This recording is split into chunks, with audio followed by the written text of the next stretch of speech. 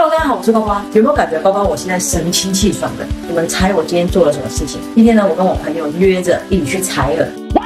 其实从回到台湾之后，我就一直在想哪里有好的采耳师，因为在大陆采耳真的是采的太过瘾了。我就想说，哎，也要找一家好的在台湾，然后享受一下。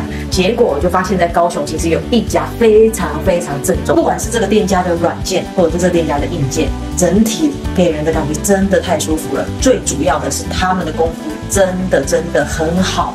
服务的非常的到位，而且项目非常多。价位呢，我觉得如果是在高雄的话，我觉得有一点小贵，但是也不能这样讲，因为像我包包我做的就是这一项耳聪目明，那它里面就包括了采耳、银珠洁眼，就是把眼睛清理干净，然后呢还有耳浴，然后还有头颈舒压 SPA，然后客会价是九百九十九元，差不多就是两百块人民币。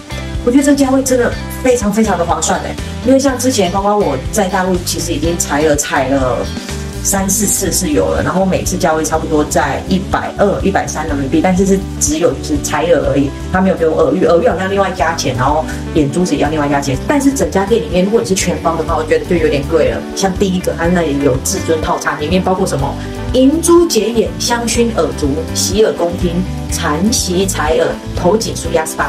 然后还有什么？有个反光了，西迪 SPA 特惠价一两千八百九十九元，一百八十分钟，三小时哎，三小时五百六五五百多人民币，其实好像也还好哦。因为刚刚我是做一个小时的两百块人民币，我真的觉得可以。而且你们知道吗？里面的老板娘就是。湖南人，然后跟他聊天的时候，他说他是住在张家界那边的。哎，其实离离公公我秀在那边很近。他就说他是把那边的古传秘方，然后在台湾开店开起来的，因为他嫁来台湾这边嘛。然后里面他所有的员工也全部都是我有遇到长沙的，然后还有一个好像是武汉还是哪里的，我忘记了。但是他们都说他们其实已经在大陆做了好几年了，然后其实嫁来台湾之后再继续做这行。然后老板娘就跟我说，因为他们不是做一次性客户，所以他们每一样都会做的很细节，很细节啊！今天真的是太舒服，太舒服了。你们觉得这价位贵吗？我真的觉得物超所值，物超所值，超级划算的。我下次还要去。尤其是他在帮我洗眼睛的时候，真的可以拉出来那种有点像黏膜透明状的。大家有洗过眼睛吗？那个感觉很奇妙，感觉他是拿一根类似针的东西，然后在那边刮刮刮刮，有一点刺，但是痒更多。我觉得这是一个。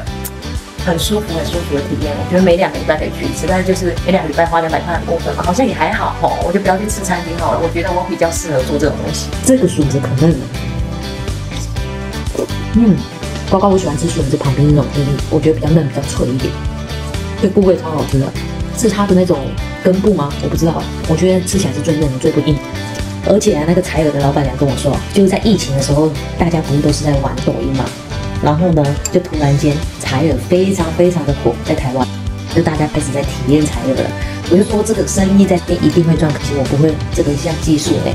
因为他说其实高雄已经开始开好几家采耳店了，而且生意都很不错哦。感觉付上给员工的，然后再付上店租，然后最主要可能店一点水费没用到什么吧，应该是个暴利的行业。而且包括我今天去，就是因为冲着他们那那个。有写说他们是湖南人，我想说哦，那技术一定很好，所以就去。果然不出我料，真的，而且我觉得体验的很深入。上海我有采过一次耳，那时候在 工作的时候，它开价是一百六十块人民币，然后二十分钟的采耳，一百六十块那也要七百块台币。我做这个才九九九，而且还有洗眼睛呢，还有头部按摩。太多差太多了，上海还是一个魔都啊，魔都消费高正常的。好，这期视频就先跟大家分享到这边了，因为我今天真的太舒服，我觉得今天一定会睡一个好觉，而且我整个眼睛自从被它清洁完之后，我走在路上，我突然觉得我终于看清楚了。我不骗你们，真的有那么夸张？我觉得是因为眼眼睛都没有去清洗过，所以就会觉得，所以一直以来看东西可能都雾雾的。它今天把有那种薄膜，好长哦，透明的，把它慢慢的、慢慢的弄出来之后，眼睛整干净了，突然间变成世界是亮的。好，这期视频就先跟大家分享到这边了，我们明天见，拜拜。